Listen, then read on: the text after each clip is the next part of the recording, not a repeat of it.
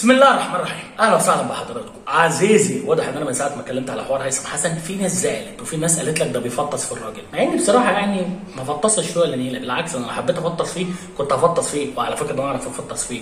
ده بالنسبة لأخونا بتاع تحيا تونس. تعالى عايز عايزك بس في نصيحة أخويا. لو عايز تقيم لعيب كورة قيمه بالأرقام مش بالحب. ده مبدئيا يعني. ولو عايز تتكلم في كورة الكوره دلوقتي بقت أرقام. يعني مثلا روح دور على هيثم حسن الأرقام بتاعته مع فيريال كانت عاملة إيه مثلا؟ وروح شوف مثلا هيثم حسن نجح في الأندية اللي تم إعارته ليها من فيريال ولا لأ؟ ده مبدئيا يعني. وعايز تتكلم على دور هيثم حسن في صناعة اللعب ودور هيثم حسن في التسجيل. بما إن هيثم حسن راجل بيلعب right winger روح مثلا دور على الاحصائيات بتاعته على Transfermarkt. لو أنت ما تابعتوش زيي هتعرف إن الراجل لا مؤاخذة يعني الاحصائيات بتاعته بتقول حاجات ما تعجبش بعض الجمهور. ده مبدئيا. أما بالنسبة لقصه الفيديو اللي أنا عملته على هيثم حسن وتفضيل منتخب تونس على منتخب مصر مبدئيا يعني قبل ما أنهي القصة بتاع تحيا تونس أتحداك تروح تجيب تصريح هيثم حسن اللي قال فيه إن أنا بحب مصر وتونس وإن أنا كنت مختار تونس من الأول. مش ناقصة رقص لا مؤاخذة يعني في 2020 كابتن وائل جمعة كلم إبراهيم فايق و الفيديوهات لسه موجودة وقال له هيثم حسن قال له هيثم حسن إحنا كلمنا والده ووالده قال له ابني هيختار ما بين فرنسا وما بين منتخب مصر. ده لا مؤاخذة يعني. فمبدئيا بس حتة ان الراجل اختار تونس واختيار القلب دي. أنا عارف ان هي بتجيب شوية متابعين حلوين بس فكك من الكلام الحمضان ده.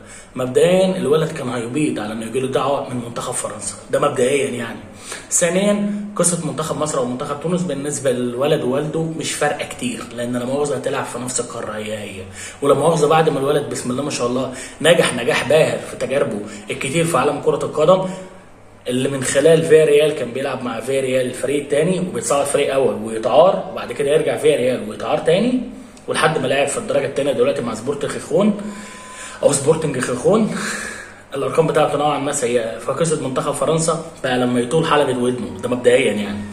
قصة إن الولد هيقدم إضافة أو لا لمنتخب تونس أنا احترمت بياري جدا لما قال إن منتخب تونس أكبر من هيثم حسن. ولكن الولد مستقبلا ممكن يلاقي نفسه مستقبلا ممكن يقدر يعمل حاجة.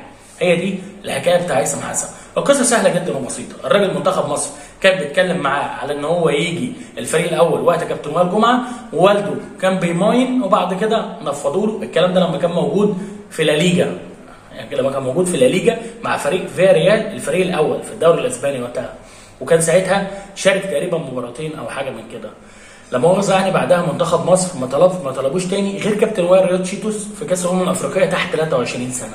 وقتها تم المناداة على فكرة إن إحنا عايزين نجيب هيثم حسن علشان خاطر ما عندناش محترفين كتير في المنتخب الأولمبي.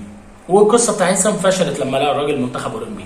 أما موضوع منتخب تونس ما يحلمش إن هو ينضم بمنتخب تونس بإحصائياته وأرقامه دي. ده لو أنت عايز توقع في الراجل ولو عايز تتكلم مع الراجل كأرقام وكإحصائيات الدنيا بالنسبة له مش حلوة خالص.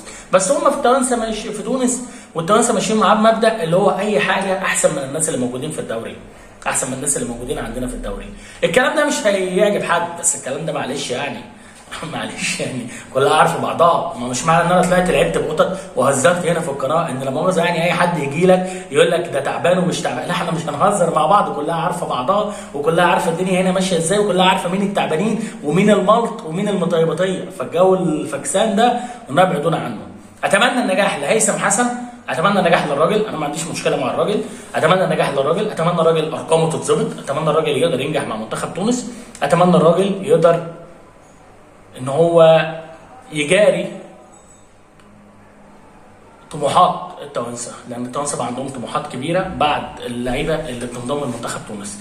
وبالنسبة لأخونا أنا بتحداك إنك تجيب لي تصريح هيثم حسن على إن هو بيحب تونس واختار منتخب تونس قبل منتخب مصر وأنا والله العظيم هبطل أنقل أخبار الكرة التونسية وهبطل أتكلم على تونس وأسيب لك الملعب وأخلع.